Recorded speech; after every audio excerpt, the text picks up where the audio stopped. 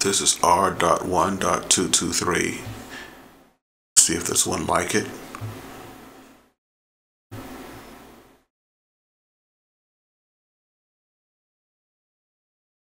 And there is one like it.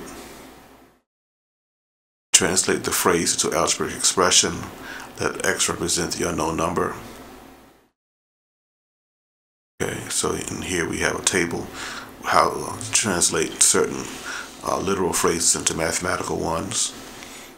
And we see the phrase there, more than, and we see times.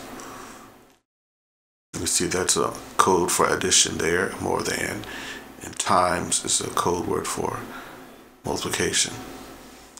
So I say 10 more than 10 plus the quantity here, a product. So it's going to be two parts to it, two inputs here. 7 times a value. They don't tell us what it is, so we call it x. So we end up with 10 plus 7x. The equivalent is uh, 7x plus 10 for my final answer.